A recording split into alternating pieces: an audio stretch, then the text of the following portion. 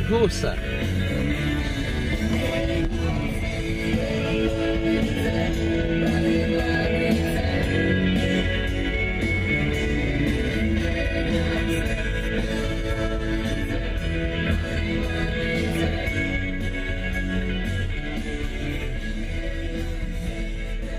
9 sati 46 minuta slušali smo parni valjak, a vrijeme je za pokoj stih.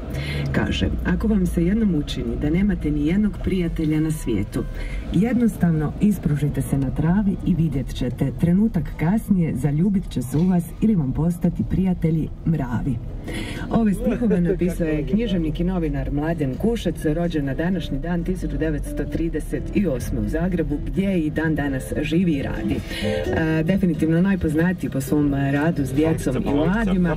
U svojoj bogatoj karijeri osmislio je stvario brojne radijske i televizijske emisije, poput e, Tonkice, Balonkice, Fr, Patuljci, pojma nemaju, Bijela vrana, Hihotići i brojni drugi, koji su stekle veliku popularnost e, ne samo među mladima, nego i među odraslima.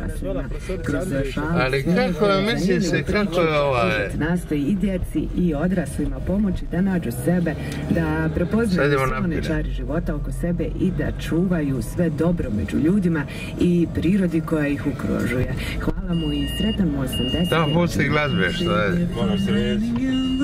Aha, bro. voleva stare trovare con un professorno. Era il modo del Gasquick ma senza fare.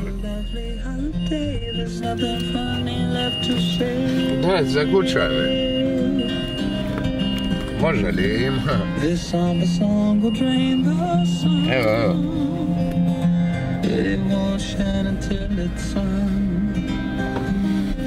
No water running in the stream, the saddest place we've ever seen.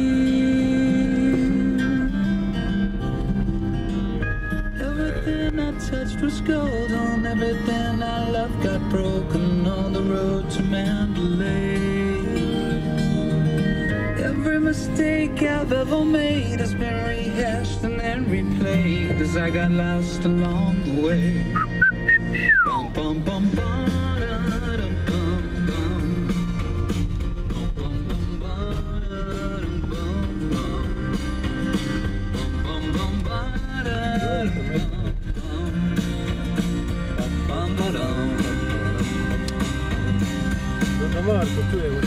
Eto, Aj, Bog, hvala. Vidimo se ne drži. Vidimo se. Hvala. Bog. ništa.